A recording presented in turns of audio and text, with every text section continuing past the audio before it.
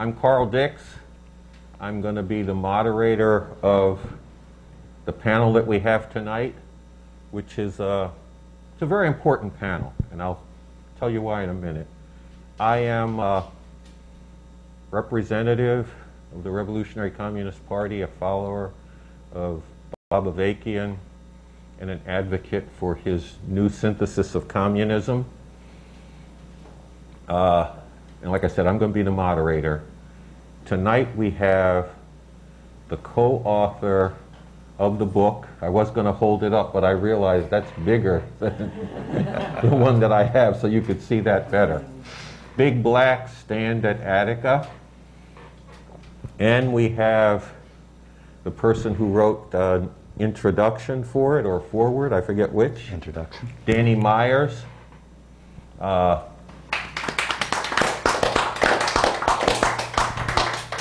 Jared's work you see through the book.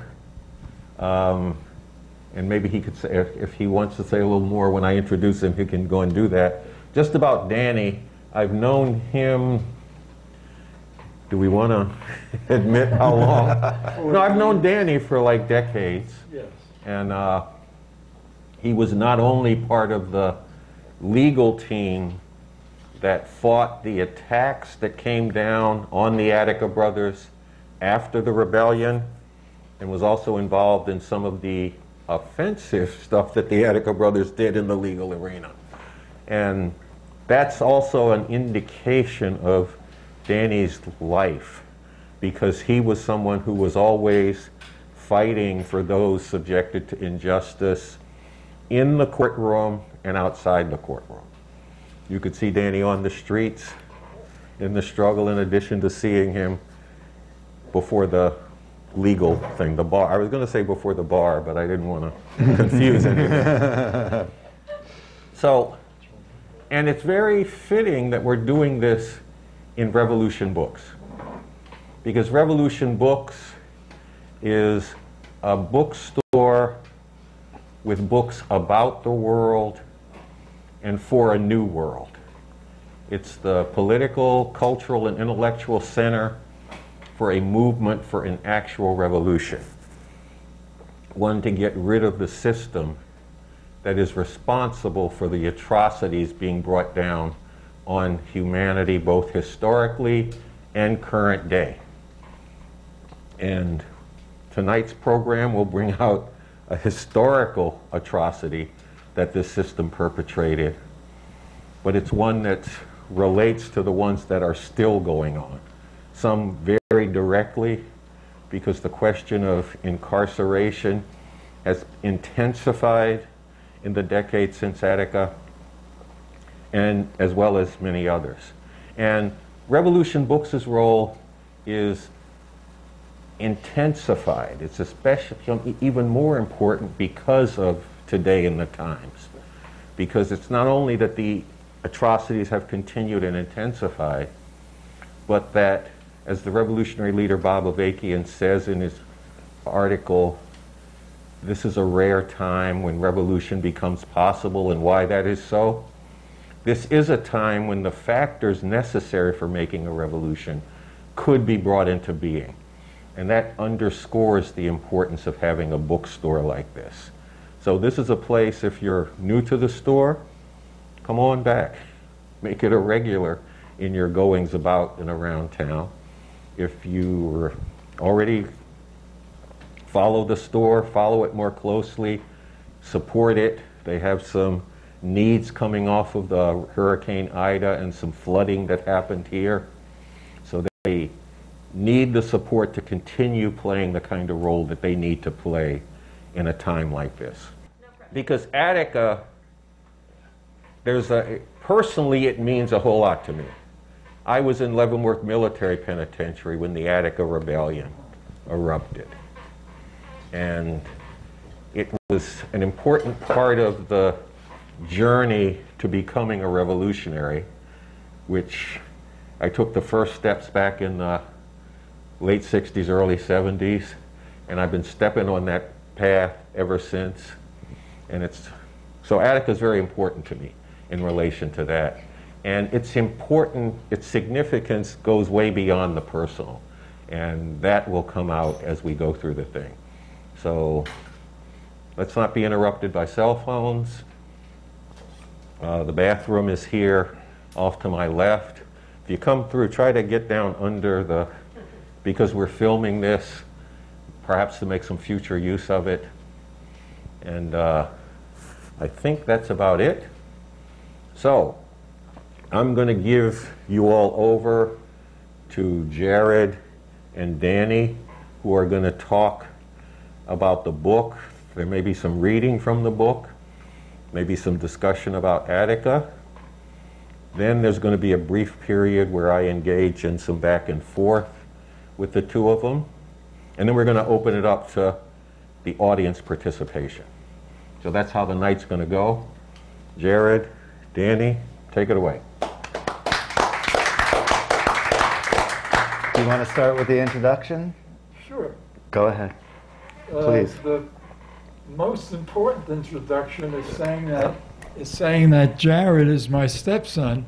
And this all happened because he is my stepson, I think, because he came to Buffalo to work on the damages cases in the 90s, in the mid 90s. And so we had the introduction to the Attica brothers and particularly Big Black, who had his case on trial. And parenthetically, or by the way, Big Black got a verdict from a Buffalo jury of $4 million. It was the largest single verdict in the history of the United States for a prisoner. All of it was taken away, and that's another story. So Jared has a very real introduction to Big Black, and they get along splendidly, so well that they compose a book. It's not published until after Black dies, unfortunately. Black hasn't seen this book. My, uh, I was asked to do an introduction, or I suggested that I do an introduction to this incredible book, this wonderful book, and I'll just read a couple of paragraphs because I think it sets the stage.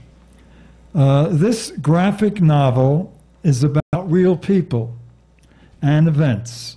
It is about a courageous, gentle person, a huge man with a booming voice. Is about people who were imprisoned at Attica, the maximum security penitentiary in upstate New York in 1971. It is about a rebellion for humane treatment. It is about the state's violent repression of the uprising that culminated in a bloody massacre. And as you probably know, 39 people were killed within six minutes on September 13th, 1971. And just again, I'm sure you know, the massacre was ordered and choreographed by Nelson Rockefeller, the governor of the state of New York, who wanted to be president of the United States, and this was his entree of all things to getting that position. Um, my involvement begins on the day of the uprising. Then I go to September 13, 1971, became one of the bloodiest days in modern United States history when New York State Governor Nelson Rockefeller ordered the violent retaking of Attica Prison. Troopers indiscriminately shot thousands of rounds of ammunition at unarmed people trapped within the prison walls, resulting in the deaths of 29 prisoners and 10 guards. After the shooting stopped, police beat and tortured the surviving prisoners. One of the worst atrocities was a sadistic barbarism perpetrated by state police and guards against Frank Big Black Smith, the central figure of this book.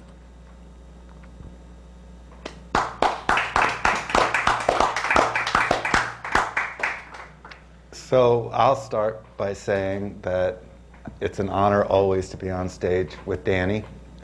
uh, he talks about 1997 when we were working in Buffalo and getting these incredible verdicts, these incredible victories for prisoners that had were dying off at that point, almost 30 years later, 26 years later, right?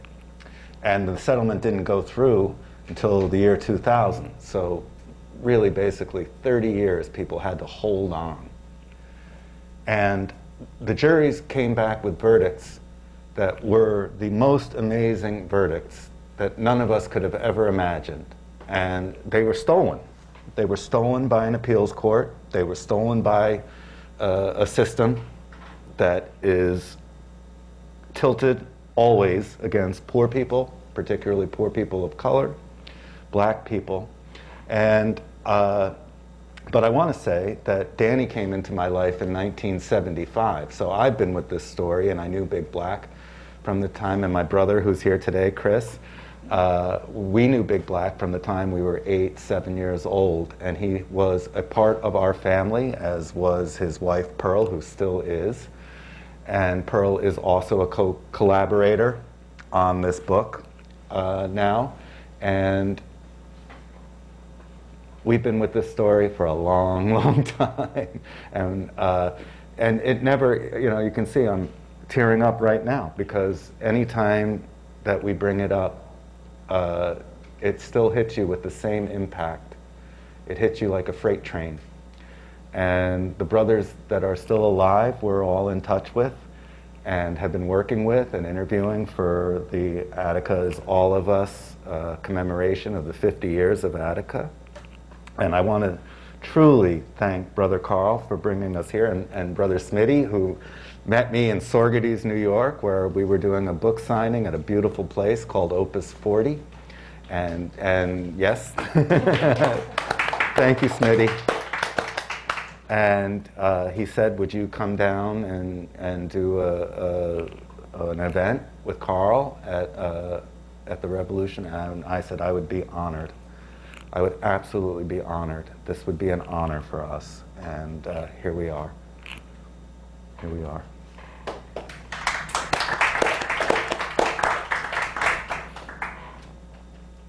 I'll, I'll just also then say, just so to give a little bit of history and background on the book, that when Big, Big Black was a person, and everyone will tell this story, all of his nieces and nephews, grandchildren, children, his wife, friends, everybody.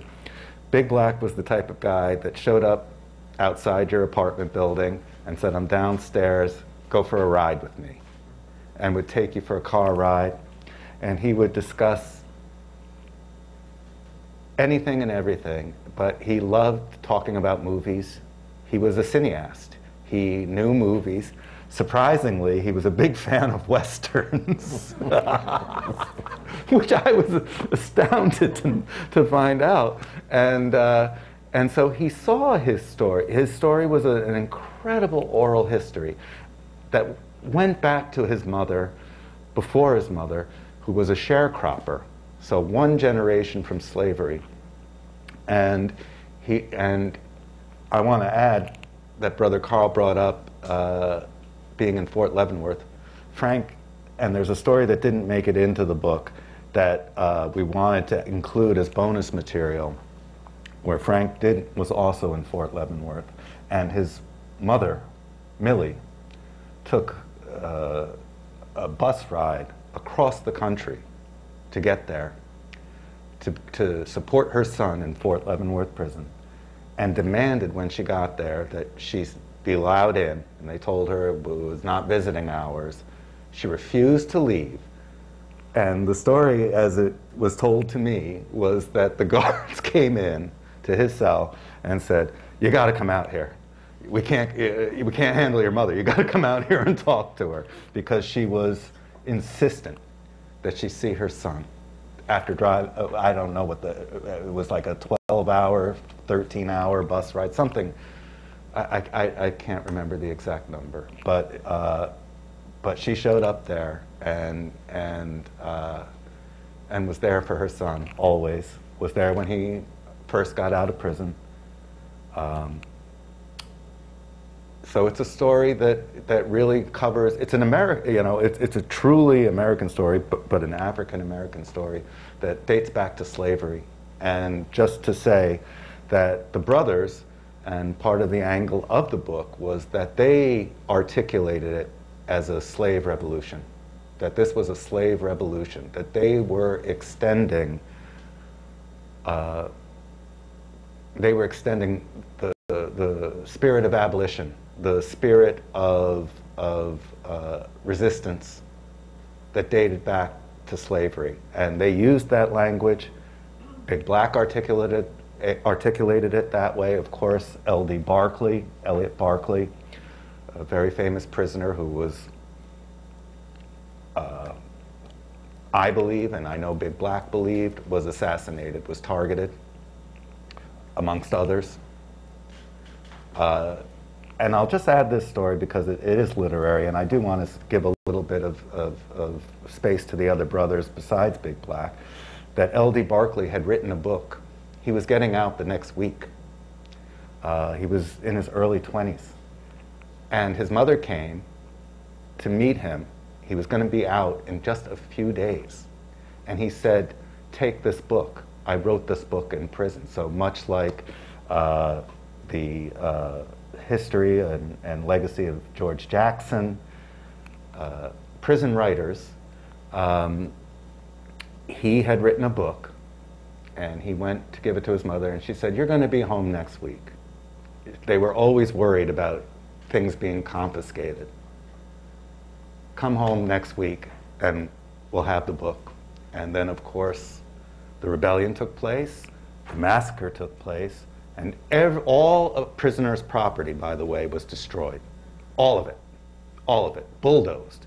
Flushed out of their rooms, their glasses, their dentures, their family photos, their letters, their journals, all destroyed. All destroyed. And the book by L.D. Barkley, which would really actually make a, probably a wonderful story to imagine, was destroyed. So that's our story. We're sticking to it. Okay.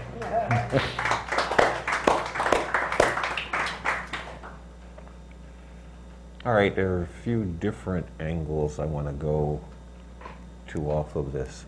Let's start by talking a little bit more about this story because you made the point in your introduction, Danny, that the retaking was barbarous, it involved torture, and that there is no overstating in that. But let's give people a little bit the flavor of it because I remember, well, first off, they stripped all of the prisoners that they didn't murder naked upon taking the place back. But then there was more to it there was a gauntlet that was set up. And there was a thing about a football, which became part of the torture. And I guess I'd like you all to, to tell us a bit about that. I'll, I'll let Jared describe the torture. I, I can do it very well because I have been historically describing what I consider to be the worst of possible tortures of one human being or human beings against another, and the fact that Black comes out as sane as he does, having sustained extraordinary torture. It's in the book, it can't not be in the book. Um, and it's the football under the chin. Big Black was the coach, football coach of, of the prisoners at Attica. And after, and he was um, targeted for torture and brutality, and they devised a scheme where they would put a football under his chin while he's lying naked on a table like a ping pong table in D yard, the yard that was uh, subsumed by the troopers. And if that football came out from under his chin, he would be shot to death by two troopers with shotguns at each side of his head. And to encourage that, they began to burn him with cigarettes, with hot shotgun shells, and threatened him with castration. There was a trooper that had a sword at his testicles. This is going on. And if that football fell out of his chin, he would be castrated and slain. He holds how he does it, who would know, for four hours. He holds on for four hours until they allow him to get off the table. And he then runs what is called the gauntlet. It was a tunnel inside one of the uh, areas. On each side were correction officers and troopers with swords, with axe handles, with rifles, and you everybody had to run the gauntlet, and it, and the floor was covered with glass. And again, if you fell, you'd get beaten to death. And everybody had to go through that gauntlet, including Black, who had probably no legs after four hours on a table. How he could have possibly held himself up. He did. He goes into a cell. He's tortured in the cell. It just doesn't stop for him. And for me, the amazing part, that is so horrible, it's unbelievable, is that he's a gentle person. He's he never harms a soul. And um, he never went into prison for a, a violent act.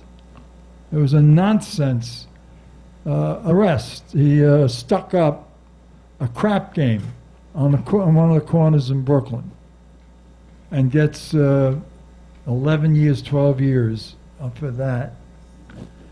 So, anyhow, this book that Jared co authored with Black has all of this and has one other thing, and I'm going to turn it over to Jared, is what in fact was his life like after sustaining that kind of torture. And the main thing that it appears is nightmares.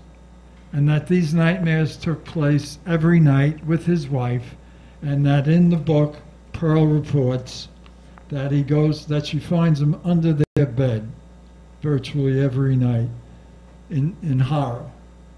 So obviously it impacted him, but never with regard to his, um, his interactions with people.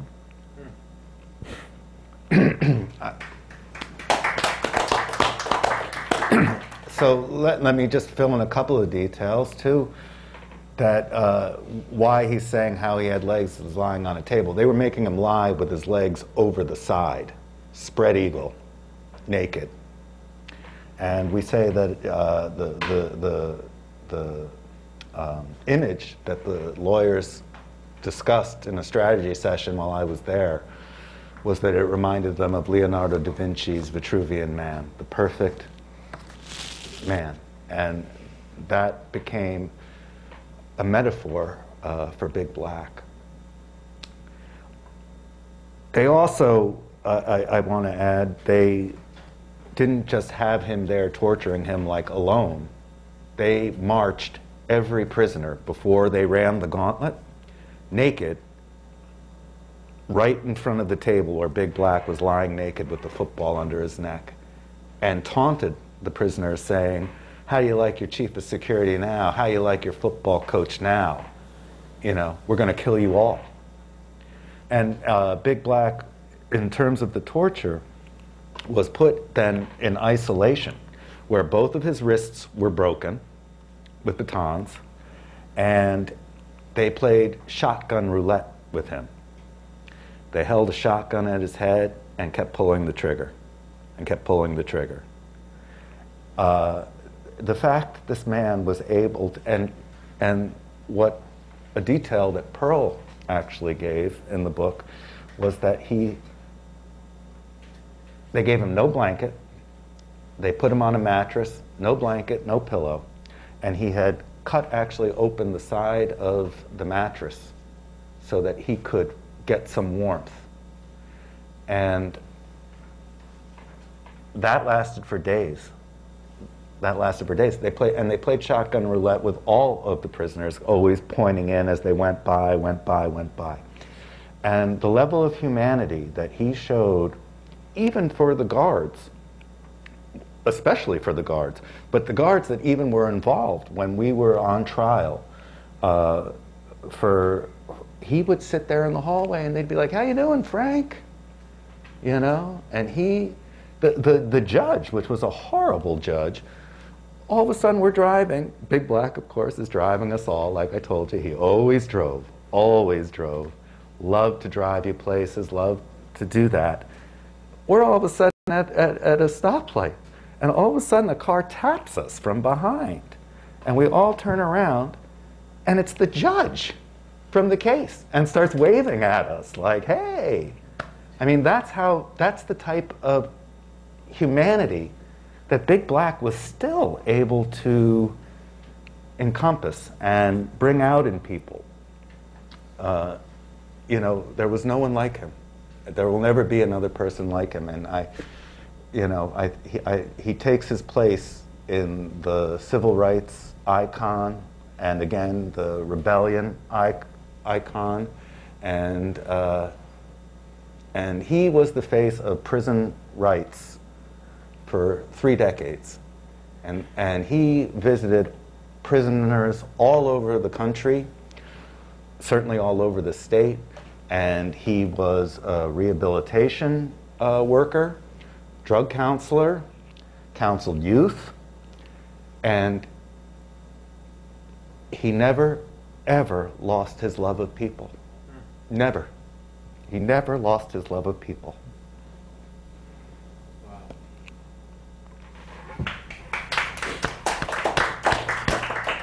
Okay, I said earlier that Attica was part of my journey to becoming a revolutionary, but I also said it wasn't a personal thing. And look, Attica deepened and spread the spirit of rebellion and revolution that was widespread in the late 60s, early 70s. You know, because there were a lot of, a lot of people who were already into revolution. And if that was you, when Attica erupted, it deepened that for you. But then there were people who weren't yet into revolution. Attica happens, and you hear L.D. Barkley speaking for the, it was about 1,300 prisoners in 1280, yeah. 1281. Okay, see, there's the example. for those prisoners, L.D. Barkley standing up and saying, We are men. We are not animals. And we refuse to be driven as such. And these were the people who were supposed to be thrown away in society, the worst of the worst. And they were not only declaring their humanity, but standing up and fighting for it that moved a lot of people who weren't yet to revolution. It moved them to revolution. That's why I say it both deepened and spread that spirit of rebellion and revolution back in the 1960s.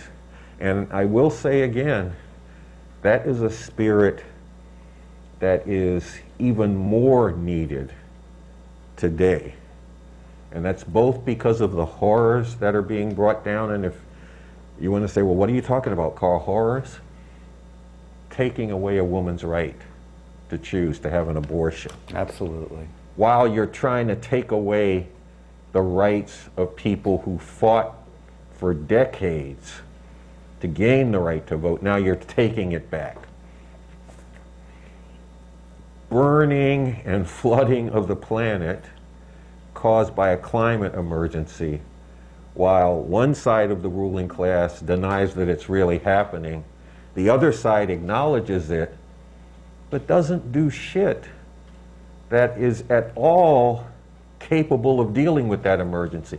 That's what this system is doing to us today. And they're fighting over, and they're fighting at the top, but it's not like one side's fighting for the interest of the people and the other side's fighting against it. They're fighting over what's the best way to keep their system going. This is a time where there's not only horrors, but that fighting actually exposes the vulnerability of the system. And it's like I, I mentioned this piece from Bob Avakian, the revolutionary leader and author of The New Communism. This is a rare time when revolution becomes possible, and he gets into why that is so and how to seize on this rare opportunity. Into this kind of situation, with what's at stake, at stake both in terms of the positive and negative, the spirit of Attica becomes very, very important. That's why I thought this program was very important to do. It also happens that today is 58 years since the bombing of the church in Birmingham where the four young girls were murdered. And when you think about that, the kinds of people who did that bombing are also being unleashed today in society. Yep. You know, the, the grandchildren and great grandchildren, politically and ideologically, not necessarily directly, you know, genealogically, but politically and ideologically, their grandchildren and great grandchildren are being unleashed on society right now. This is a time when it's both necessary to act to stop this, but also possible because of the vulnerability and the weakness that gets exposed by this infighting. Uh, I'd really encourage people to get these two pieces, the one, the Rare Time piece by Bob Avakian, but also the declaration and call to get organized for real revolution, because that's what we need. Uh, I'm going to ask one more thing. You guys can comment on what I just said, but I also wanted to raise, because this is another thing that really struck me about Attica at the time and ever since. Because, you know, you're in prison and there's like a lot of divisions among the prisoners along the lines of race, different street organizations, uh, the black Muslims were a major part of it, and they had beefs with other people. And then in Attica, these prisoners stand up together. Right. And I'm thinking to myself, and I was in solitary confinement at the time, I was in the hole. so it wasn't like I was interacting with a lot of other prisoners. But I was thinking, like, if something like this had happened here, how would we deal with all those beefs? People in Attica did it. And I wondered if you guys could speak about that, including they dealt with the problem of revenge on the guards because some people probably wanted to kill those guards. There are people alive that will tell you that they wanted to, that they were like talk ready about to that. fight.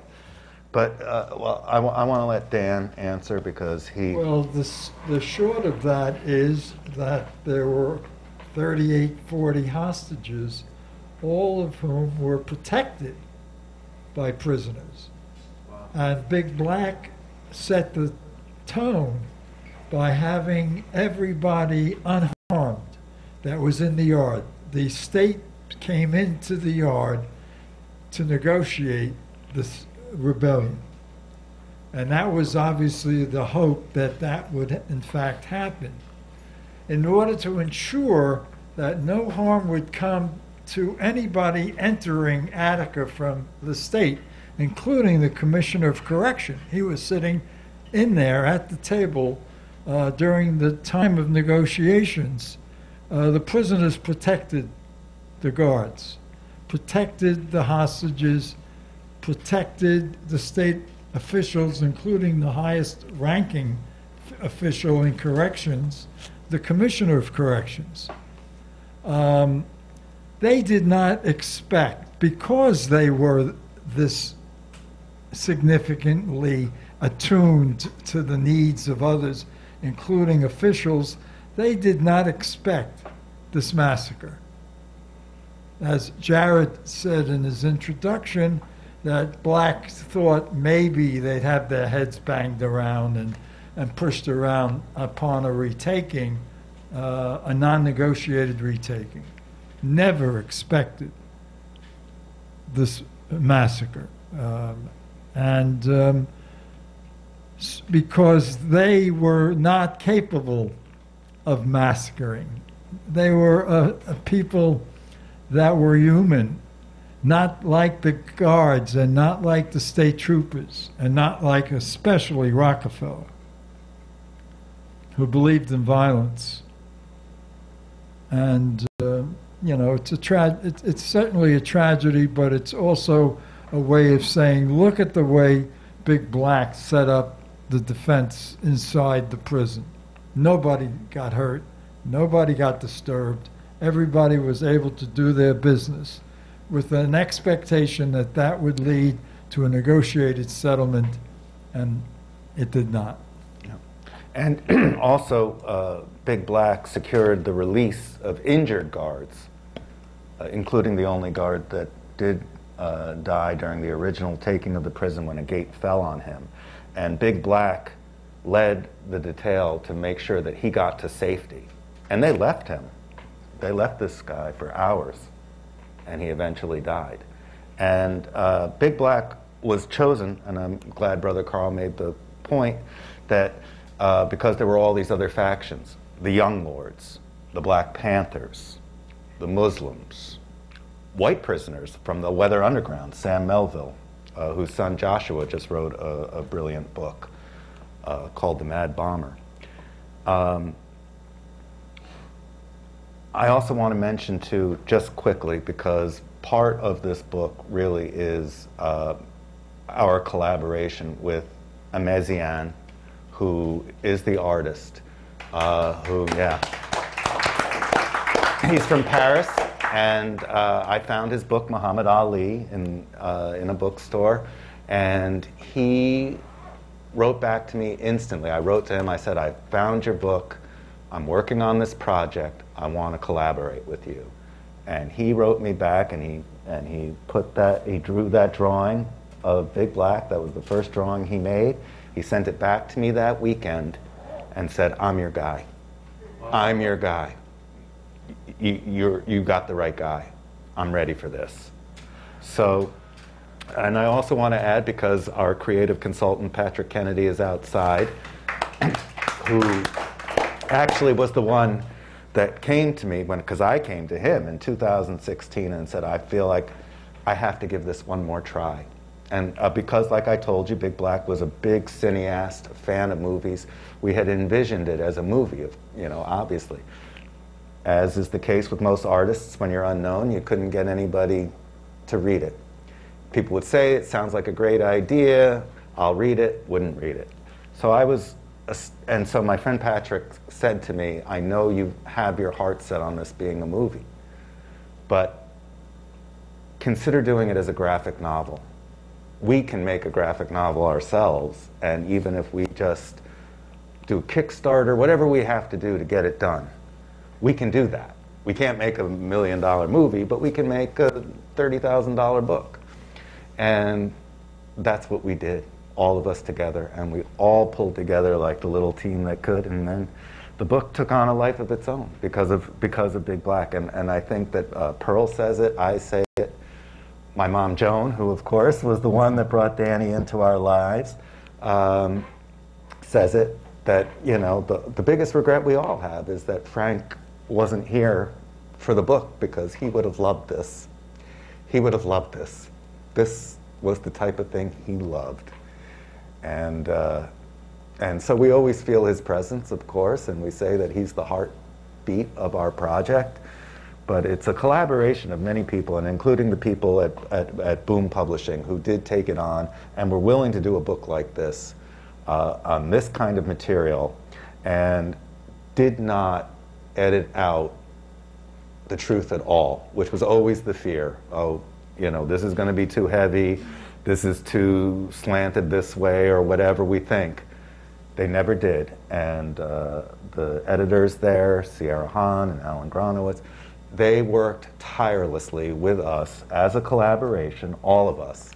Uh, Attica is all of us, and uh, including Pearl and including Carlos, who, who helped me with the book.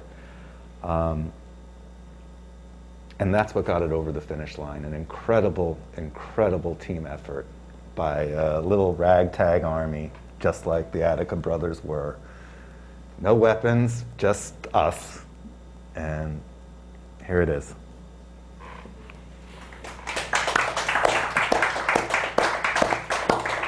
Okay, so I'm going to open this up for audience participation. I would be, I think the word is remiss, if I didn't reference one more person, and that is Akil Al-Jundi, Yes.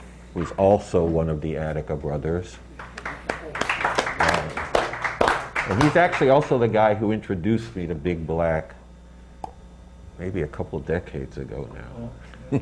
By the way, Danny, Danny actually, because Akil had passed away by the time of the um, awards for the of the of the settlement, which was horribly low considering the victories that we had won.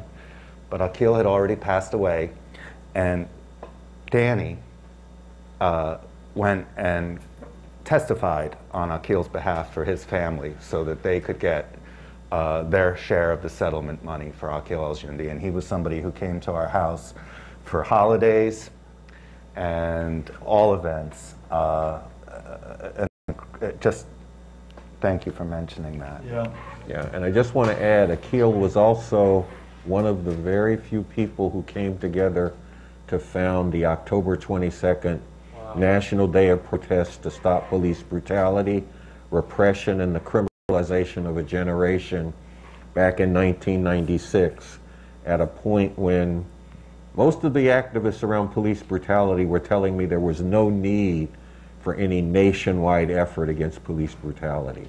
It should be fought locally because that's where the brutality happens. And we were like, there's a nationwide epidemic of this shit. And Akil was one of the very few people, I think Pam Africa was involved from the Move family. Uh, a guy from the West Coast in the National Warriors, Jim Lafferty uh, the Four Winds Student Movement, I can't remember the guy's name, and somebody from Food Not Bombs, Keith McHenry. That's what we were able to get together. We kicked it off with that. So let's open it up now with that. Any comments, questions? Yeah, he's the only one so far. Um, I have a comment to make, but I'd like to make that later. I just, um, first of all, this is very moving and really important, especially in this time. But the one question I just have, um, well, is, is just a request. If maybe you could describe uh, uh, the, for those who don't know or those watching the video, how the uprising and rebellion actually happened and what was involved in that. I'll, I'll give a little, and I'm sure Dan will supplement. So, so you know, George Jackson, a very famous prison author at the time, uh, was killed in uh, San Quentin prison uh, under very suspicious circumstances.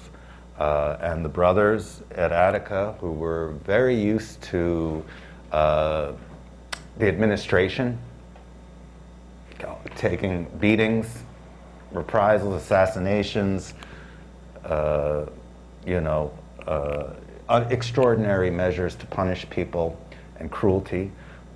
Truly, truly believe, you know, truly, you know, uh, were very suspicious of the circumstances. Of course, we all know that Angela Davis uh, then uh, was underground uh, in that situation. Um, and Angela Davis also testified on behalf of the brothers and was a very good friend of Big Black's and testified against Nelson Rockefeller. Big Black went and testified against the confirmation of uh, Nelson Rockefeller to be vice president uh, when he was appointed vice president after Attica. Angela Davis and Big Black went to Washington, D.C. and testified against him the brothers, because of very humane uh, requests, they ate. The, they were fed pork every day. Muslims don't eat pork, so they couldn't get nutrition. You were given one shower a week in Attica, one shower a week. Now you might think that they all went into some clubhouse, like you know, a gym, and, and showered. They didn't. They were given one bucket of water to wash, one bucket of water to rinse once a week. Football players, athletes, big men, they were given one roll of toilet, toilet paper a month. You ran out, you had to make deals. That's how it was. So they had made a very humane list of demands, requests, not demands, requests really at that point, to negotiate. They had already begun organizing. Brothers from the different groups, like I said, the Young Lords, the Black Panthers, the Muslims, had all begun collaborating on this list. Pay us minimum wage. They were making 37 cents an hour doing slave labor. They called it the warden's plantation. Big Black had to do the personal laundry of the warden. So they called it the warden's plantation because, again, they used, they used the vocabulary of slave rebellion. They saw that. They saw that they were a continuation of that.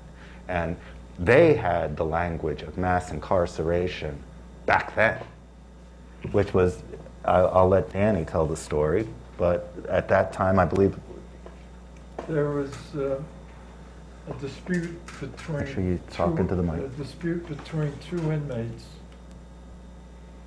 And one of them went into solitary, and this really became more than tolerable for the brothers. And what happens on September 9 is that there is a large number of brothers who are marching from the mess hall along a corridor. And for some reason, the gate gives. And the, the, they got, the, the, the yard is open to them all. And they go around and uh, tell other brothers to come out from wherever they are, their cells where they're working, and we're going to mass together in D yard, and we're going to make demands for humane conditions. And that's what they did. That's how they get into the yard. That's how the brothers form this committee of the most uh, involved brothers on one side of the table, and then the next day comes a, com- a commissioner of corrections. Everything is written out as to what they want. The other thing that aids their position, and which they hoped would peacefully resolve the situation, is the formation of people from the outside, selected by the brothers, called the Observers. They came to Attica. 30 of them came to Attica, uh, including the most famous was William Kunstler. But you also had Tom Wicker, who was the associate editor of the New York Times. You had Herman Badillo, who was a congressperson at that time. Clarence you had Arthur. O'Eve, who was the head of the state assembly in, in New York. And you had all, and you had clergy, and you had press. And there were 30 of them, and they were there for the purposes of resolving this thing peacefully, and they couldn't. And they couldn't. And Tom Wicker writes a book about his experience at Attica called The Time to Die. And that was from a statement that Herman Badillo made to, to, um, to Wicker when the gas was thrown at them from the helicopter. And Badillo says to um, uh, Badillo says to Wicker, "What was the hurry? What was the rush? There's always a time to die." And so it didn't matter that these observers were there. It didn't matter that these observers had sufficient prestige to get in touch with Rockefeller and to tell Rockefeller, you have to come to Attica. You can resolve this. You need to come. Rockefeller says, I'm not coming. And he wasn't going to come because it wasn't in his political interest to come. His political interest was to order a massacre. And as Jared said, he does become vice president of the United States.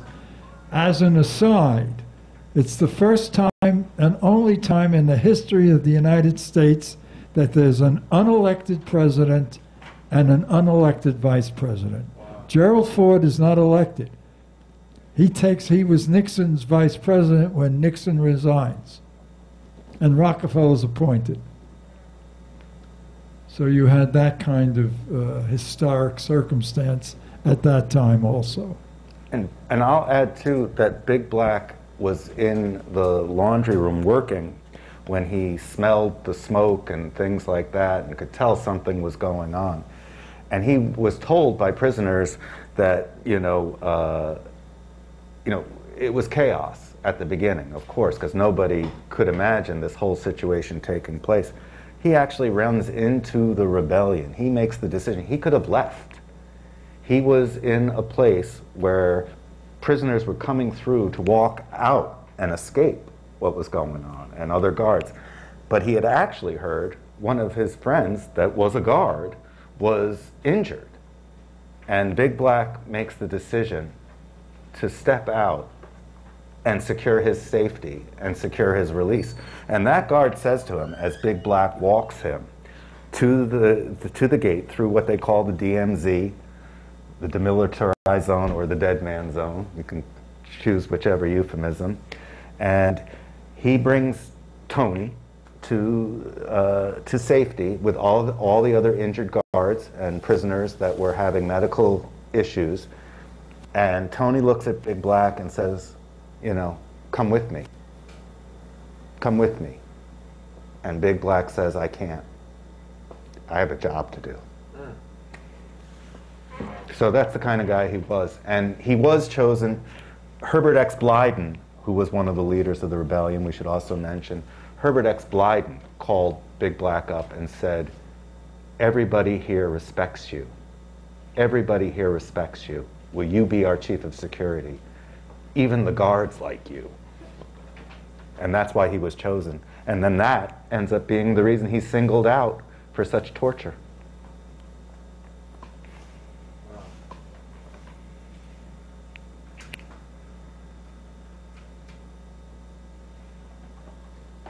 Okay, any other comments, questions? Okay.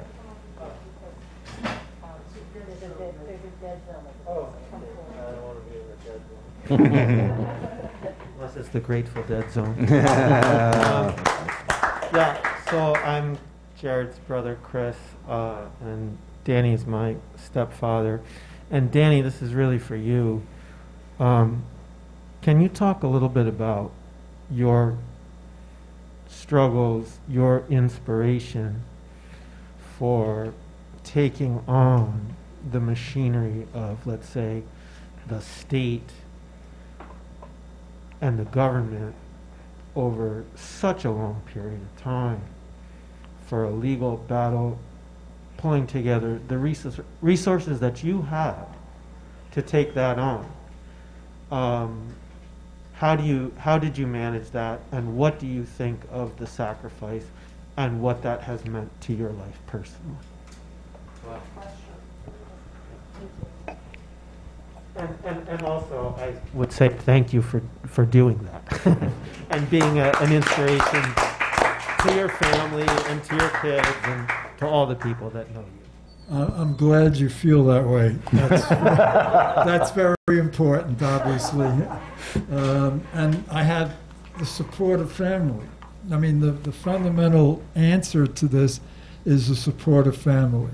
Chris and Jared and Amy, my wife Joan, and my parents. Sam Myers was a f- towering figure in the struggle in New York for justice. He was a union president of the United Auto Workers, and he actually hired prisoners. Um, the Auburn Six gets hired by Sam. Akil and Black are extremely close. And so I have all this wonderful support to do the work. I'm also not alone. There are five of us that represent the Attica brothers in this class action lawsuit styled Akil al Jundi against Rockefeller. It was on behalf of the 1,281 prisoners. We wanted the case, of course, to be here in federal court in Manhattan. It was not allowed. It was sent, the case, to the federal court in Buffalo, and we got screwed royally by an awful judge. And a judge that didn't allow a trial, a liability trial, for 17 years. 17 years. It's unheard of. Federal court is, is fast. You go into federal court because you want a rapid disposition. 17 years to get a liability trial. And so we were all activist lawyers, we're all National Lawyers Guild lawyers, uh, wonderful uh, people, obviously, who were willing to take on this kind of case without any real, none of us had any money.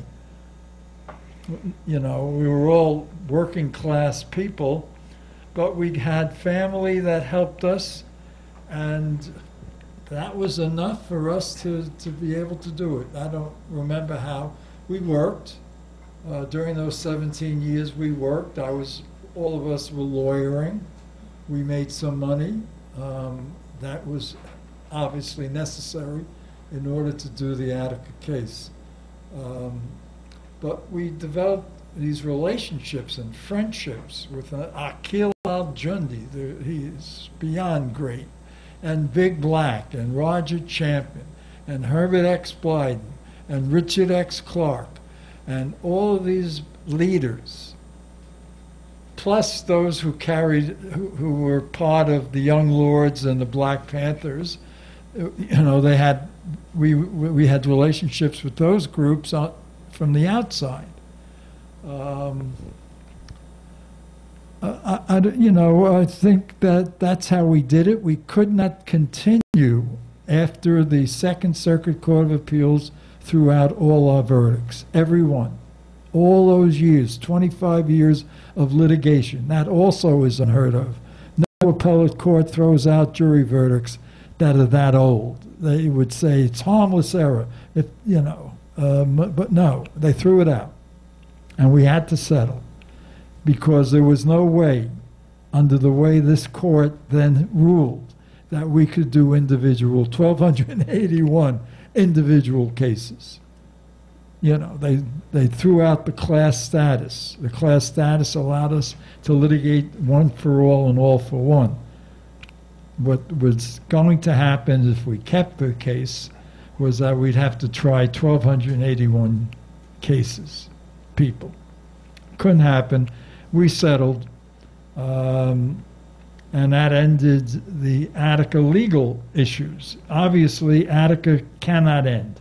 We just went through a rather uh, a lengthy 50th commemoration. I don't know if anybody here saw some of the uh, lifespan and other things of the two nights.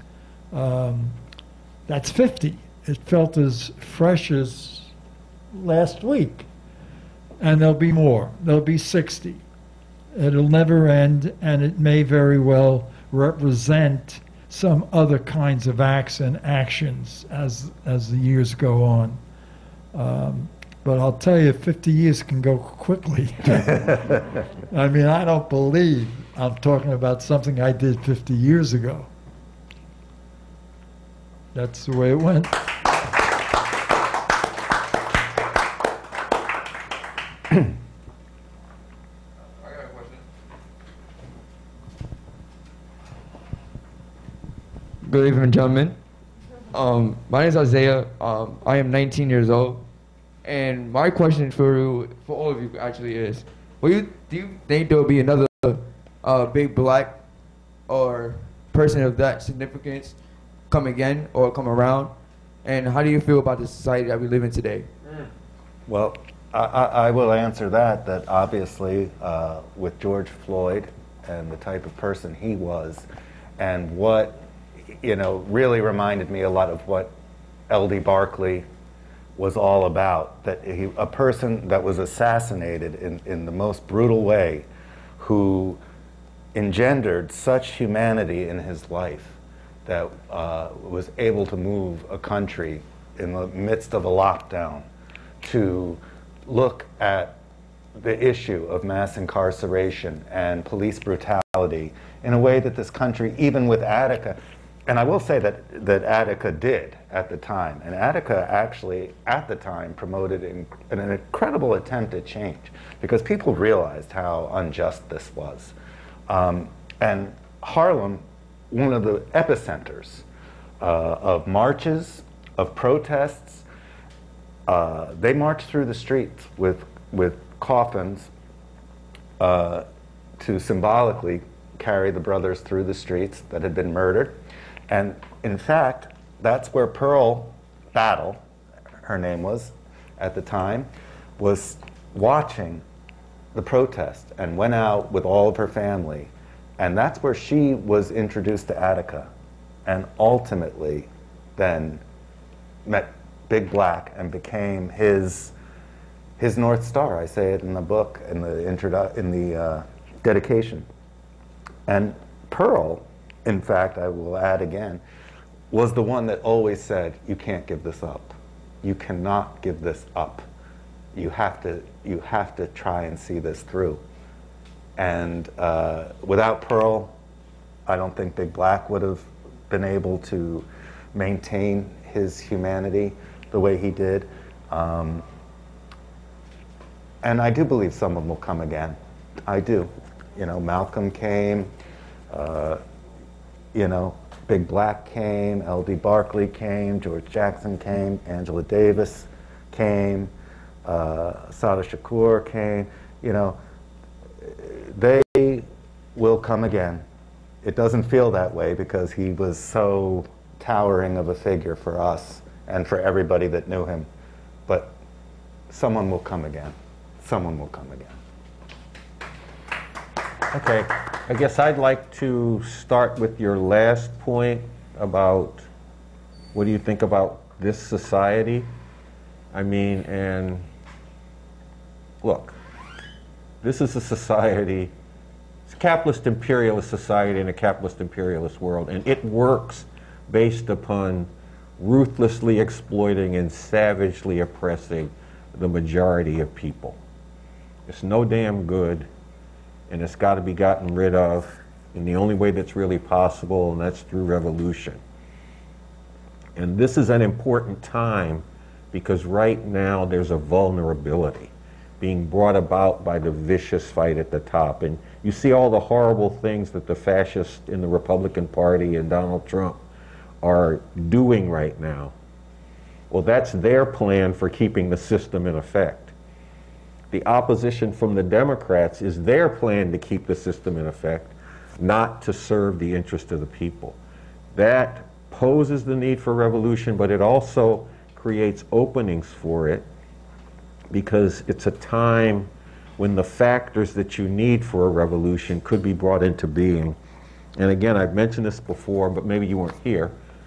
This piece by Bob Avakian, this is a rare time when revolution becomes possible. Why this is so, and how to seize on this rare opportunity. This is something that people need to check out, get into, talk with us about here at Revolution Books. Talk to the Revolution Club, which operates out of here. I believe there's going to be an open house at Revolution Books this weekend. C- someone give me the de- Saturday from three to five. Okay, Saturday from 3 to 5, there's going to be an open house here at Revolution Books. Come back, sit down with us, talk about this, take this material and read it, bring some of your friends with you, and let's get into it because something needs to be done. And then that takes me to the thing of will there be another Big Black? And we should actually look at it because, on one level, Big Black wasn't Big Black. Akil Al Jundi wasn't Akil Al Jundi. L.D. Barkley wasn't L.D. Barkley until the situation presented itself where there was a challenge to stand up against injustice, and they responded to that challenge. You know, the same thing with uh, Fannie Lou Hamer, many, many more people. Challenges You. came. Yeah. Well, I was going to come towards that. I was going to come towards that. Challenges were presented to people. I mean, with me personally, it was a challenge. You're going to go to Vietnam and kill Vietnamese people for this system that wants to drown their revolution in blood. And I said, hell no, I'm not. L.D. Barkley, Big Black, the other Attica brothers responded to that challenge by standing up. My phone's tripping. Okay, take the sound down, man. You can get back to whoever it is or whatever it is. my phone just started doing that. I was just. Okay. No, but see, those challenges are out there and people need to stand up and meet them. And that's where Big Black came from. That's where Fannie Lou Hamer came from. That's where the rest of Malcolm X came from. That's where all those people that we look up to, that's where they came from. They have to be connected with something else, though. We need to have leadership to make a revolution. I know a lot of folks be saying, oh, no, no, we don't need no leaders. We don't need no leaders. Well, actually, you do, because making revolution is a very complex thing. And that's why it's very important not only that people stand up, but that people develop an understanding of why are we facing these problems? Where do they come from and what do we need to do about it? And a very important thing that we have right now is Bob Avakian, the leader of the movement for an actual revolution in this country, who has developed a new framework for human emancipation, the new communism, who's authored a constitution for a future socialist republic in North America that gives you a vision of the kind of society we could bring into being through revolution and has spoken on how you can make a revolution. And they're, talk to me about that afterwards because you need to check this out. But that's the combination that we got to get. We got to get people standing up and saying hell no to this shit. And we got to connect that with the revolutionary understanding that can get us out of it. Because there's going to be a lot of horrors coming down, and people need to stand up against them. And that's where the fighters who can inspire people are going to come forward. And I'm a revolutionary leader myself. I'm going to be working to hook them up with the understanding that can lead us out of this shit once and for all. That's what I wanted to say on that. I, I, I would only, and I would only add that to remember, and what I think Big Black and uh, Akil and Herbert X and Richard X, all, and Carlos Roche and uh, L.D. Barkley, and all the things that these people, and, Sister Angela, of course, uh, would tell you is that, uh, you know, how we treat the most vulnerable in society really is the mark of our society. And these are not people to be thrown away. These are not people to be discounted and forgotten about. That our brothers and sisters uh, that are in prison and are suffering under this system are not to be forgotten by us. And one of the things that Danny had brought into our lives in the 70s was, a, was, was to be a part of a vibrant prisoner rights movement. And, you know, with the advent of, again, further capitalism, shows like cops are in jail and da da da, you know, people are able to dehumanize, uh, even in their minds, separate these people in prison. And these are our brothers, these are our sisters, and uh, this country is ultimately in a death spiral with mass incarceration because they saw mass incarceration as the extension of slavery, lynching, Jim Crow, segregation. And, and they were absolutely right. And, and we always have to remember that these people are not to be thrown away, you know. And we are, we are, we give, we say, like uh, Sister Angela Davis said at the committee the other night, we are abolitionists. We are abolitionists and we're proud of it. And uh, we have to end this death spiral with mass incarceration that has taken so much from all of us, honestly, whether we know it or not. Okay, I think there was one more hand. Was that you up front? Right here. Is there one back there? Right here. This is one I saw. Um, I just want, th- this is a inspiring and moving and very important program. I haven't read the book yet. We all should read it. This is partly an answer to what you just said. This history can't be erased. because it was courageous, important, and inspired millions. That's one reason why people need to know about it. People need to know about it because we're living in a moment, like Carl said, of tremendous horrors for humanity. And too many people are turning inwards and turning away, including many people who a year ago were doing the right thing. To put it all on the line, not just in a single moment. To put it, can you turn this volume up, please? To put it all on the line in this moment is extremely important. And I think especially also the example of people uniting together. We have a situation where people are murdering each other who live on different blocks because they're in different sets, while the system is creating the conditions where they can't even survive. Those people need to come together.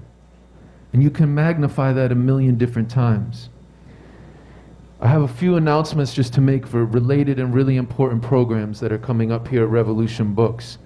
But also, what the brother said will we have people like this come forward again? In the current situation, I don't know if we can.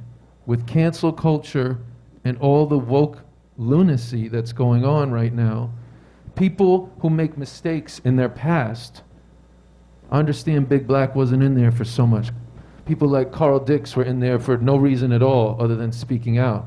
But anybody who has a mistake in their past is given a public death sentence basically for the rest of their lives. If Malcolm X came forward in this moment right now, he wouldn't, because of the things he did in his youth, he wouldn't be allowed to become Malcolm X. So I think that's something we all have to come to terms with. These are the events. They're important. Once here, I'm making announcements for Revolution Books right here. On Saturday, September 25th, free all of Iran's political prisoners. An afternoon of solidarity and resistance.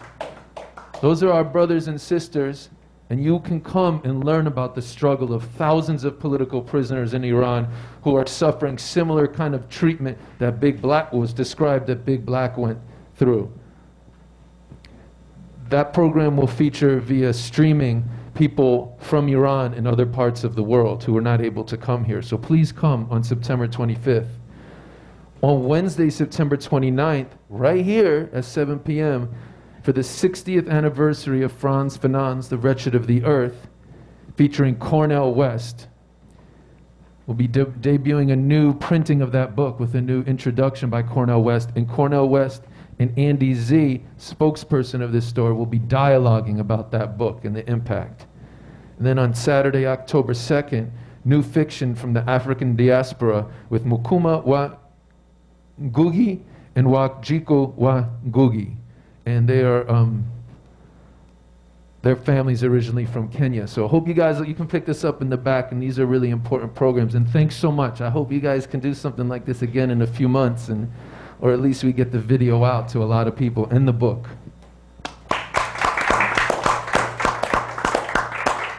Okay. Well, I just have one last thing to say. I was actually going to announce a few of those programs, but I guess I don't have to now. But on the one on September 29th, Wretched of the Earth was a book for a lot of people in my generation. It was kind of like you had to read it, and if you hadn't read it, you tried to front like you had read it because you didn't want people to know that you was behind the times. No, but this is a book that people in the Black Panther Party talked about in terms of turning them on and guiding them towards and into revolution. And it was a seminal work for that time. And here, 60 years later, it's being reissued.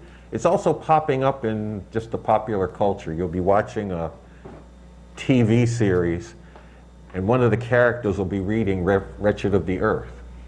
Well, we need to get back into that because we need a revolution and revolutionary spirit and revolutionary thinking today. But we also need to critically get into it and say, well, what of it is still relevant? What's dated? How, what new approach to this is required? So I really recommend that you come and be there for this because Cornel has written uh, an introductory essay for this new edition. He's going to talk about that, and then he and Andy are going to go back and forth on what Fanon represented then and now, how to understand some of the concepts that he spoke to. So I really recommend you do that, and then come back for the one on, Se- what's it, October 2nd, Saturday? Yes, 3 o'clock. 3 o'clock, because these are African authors who are going to be speaking about African literature throughout the world, because Africans are throughout the world right now, and there's a lot of important things developing in that literature. People need to, and, and this is the store for it to happen in, because like I said, it is a store with books about the world and books for a new world. Any last words from you guys? I want to thank Brother Carl and Brother Smitty in the back for, for uh, engaging me at Opus 40 and, and bringing us here. This is, uh, like I said, this was the epicenter of resistance after Attica, Harlem, uh, will always be. And, uh, and, and we are honored to be here, and I thank you greatly. Um, I, I'd like to second what Jared said and add, and, and- add that, um, the more we realize what the reality is locally and nationally, the greater the opportunity we have to make change. And Jared or Carl asked, uh, how did you become involved in something 50 years ago that was so monumental? The answer is, is I made baby steps in response to that demand. And as we went on, we got stronger and stronger and stronger and more resolved. And so we all should see ourselves at whatever stages of development it is important to realize that there's a future ahead, especially when it's a radical future.